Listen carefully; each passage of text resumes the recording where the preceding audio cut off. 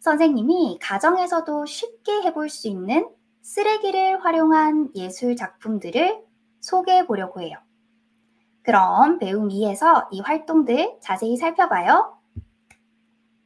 짜잔! 이건 선생님이 아름다운 꽃을 생각하면서 만든 작품인데요. 어때요? 좀 잘 그린 것 같나요? 근데 만드는 방법이 하나도 어렵지 않아요. 정말. 그렇다면 문제! 이 작품은 그럼 어떤 쓰레기를 활용하여 만든 것일까요? 우리 친구들 한번 맞춰보세요. 1번 칫솔, 2번 비닐봉지, 3번 빛. 과연 어떤 것들을 활용한 걸까요? 자, 1번이란 의견이 참 많네요. 칫솔이란 말 많고요. 선생님이 친구들 답변을 보여주고 싶은데 너무 빨리 올라가네요. 그리고 2번 비닐봉지도 있고요. 빛은 많이 없네요. 과연 1번과 2번이 많은 가운데 이 작품은 어떤 것을 재료로 썼냐면 바로 바로 비닐봉지였습니다. 아니 비닐봉지가 어떻게 꽃으로 탄생하게 됐는지 여러분 궁금하지 않나요? 그래서 선생님이 작품 제작 과정을 영상으로 준비해 보았답니다. 함께 살펴보아요. 먼저 버릴 쓰레기인 비닐봉지 준비하고요. 막힌 부분을 매듭 지어요. 꽉 이렇게 매듭 짓습니다. 그리고 비닐봉지를 거꾸로 이렇게 뒤집어요. 잘 펴서 다듬어 주세요.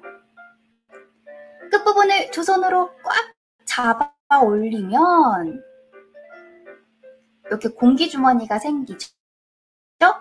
요걸 다시 매듭 짓습니다. 그런 다음에 요 부분에 물감을 칠해요.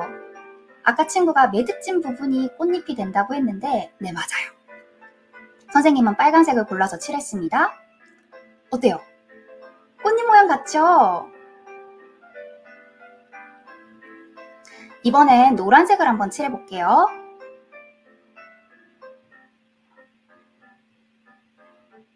와, 노란 꽃잎 실감나죠? 자, 이렇게 여러분이 원하는 색을 마음껏 찍으면 그게 꽃이 되는 거예요. 자, 꽃을 다 찍었으면은 이제 잎사귀를 그려보아야겠죠? 이렇게 군데군데 잎사귀로 꾸며줍니다. 그럼 완성! 자, 어때요? 자세히 봐도 뭔가 꽃잎이 펼쳐진 것처럼 실감나지요?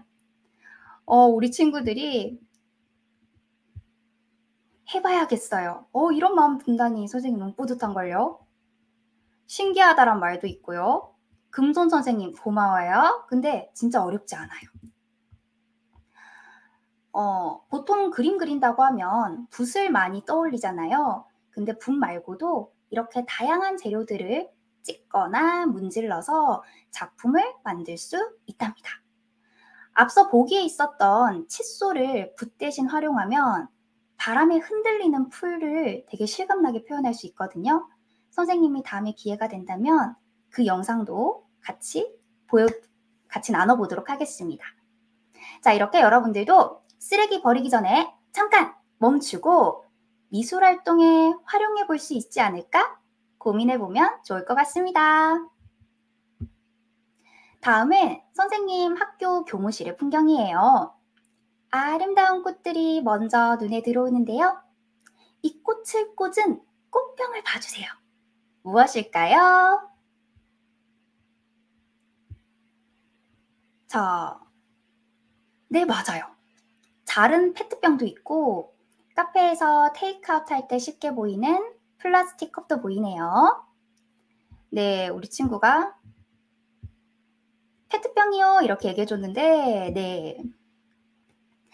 이 컵들도 그냥 버리면 쓰레기죠. 하지만 이렇게 새로운 쓰임을 찾아 재활용하니 너무너무 뿌듯하네요. 여기서 그치지 않고 지금 여기 수업에 선생님 반 친구들도 와 있는 것 같은데 우리 반 친구들은 이 버려지는 플라스틱 컵을 이렇게 아름답게 꾸며보았어요. 선생님 반 친구들이 2학년인데요. 어때요? 무척 잘 만들었죠? 네. 2학년 친구들도 아주 쉽고 재미나게 활동했으니 이 수업에 참여하고 있는 온학교 친구들도 어렵지 않을 것 같아요. 선생님 반 친구들은 이렇게 만든 작품들을 연필꽂이로 알차게 활용하고 있답니다. 자, 그럼 마지막 작품 함께 살펴볼까요? 이건 선생님 주방 서랍장의 모습인데요. 서랍장을 정리할 때 바구니가 있으면 깨끗하게 정리하기 좋죠. 그런데 이 바구니 사지 말고 만들어 봐요. 선생님은 이렇게 바구니가 필요할 때마다 버려지는 쓰레기를 활용해서 만든답니다. 어때요? 이렇게 마스킹 테이프나 마카를 이용해서 꾸미면 보기에도 참 예뻐요. 그럼 여기서 문제! 이 바구니는 어떤 쓰레기를 활용해서 만들었을까요? 1번 택배 상자, 2번 다 쓴 도화지, 3번 종이 가방. 자, 우리 친구들 과연 무엇을 재활용해서 예술적으로 표현한 것일까요? 와, 우리 친구가 재활용 좋은 것 같아 이렇게 이야기해 줬어요. 한 친구가 같은 답을 여러 번 안 적어도 돼요.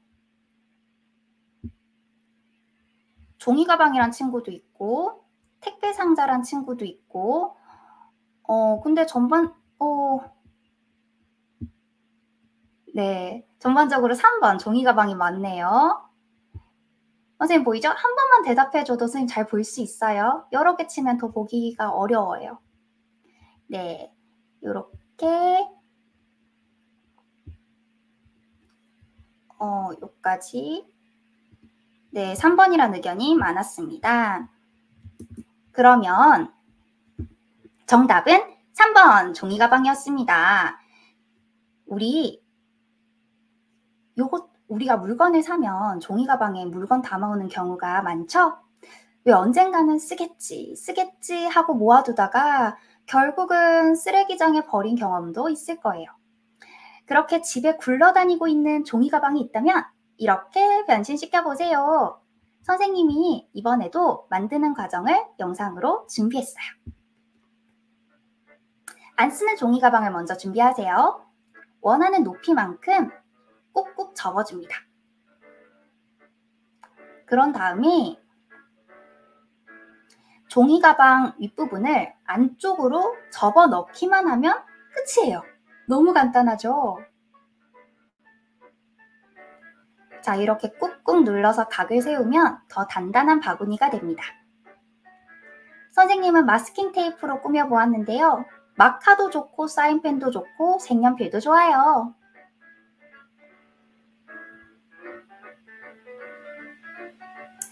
자, 이렇게 꾸미니까 맞아. 한 친구가 초간단이라고 했는데 완성이에요.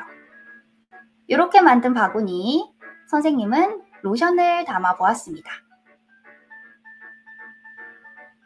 어때요? 쉽고 간단하죠?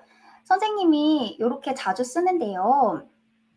이렇게 작은 노력과 정성으로 나만의 바구니를 만들면 내게 필요한 물건이 생길 뿐만 아니라 우리 지구 환경에도 큰 도움이 된답니다. 이렇게 배움 2에서 선생님과 함께 가정에서 실천해 볼 수 있는 업사이클 아트 활동들을 살펴보았어요. 생각보다 어렵지 않으니 주말을 이용해서 한번 도전해 보는 거 어떨까요?